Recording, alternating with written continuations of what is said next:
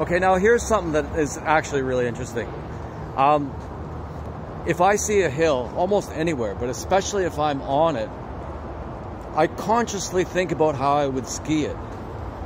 I've skied this route. This is not really gotten started yet, but I've skied this hill. Well, I ski it every time I uh, come it, and I come here every day. so, uh, quite often I'm aiming to think about what would, uh, what, what, uh, I'm going uphill, so this won't work very well, but, uh, what line would allow you to maintain the most speed?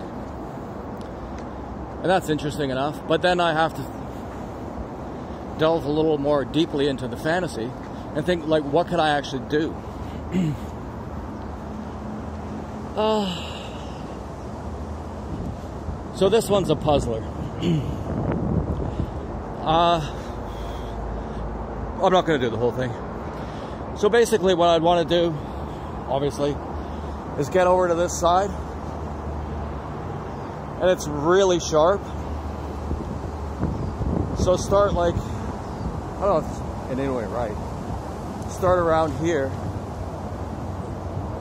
and stay tight and end up on the left side there.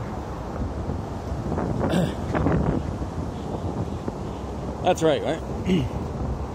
and yeah, I've I've uh, I've skied this whole thing, and it's surprisingly difficult to talk while walking uphill. So that's it for this one.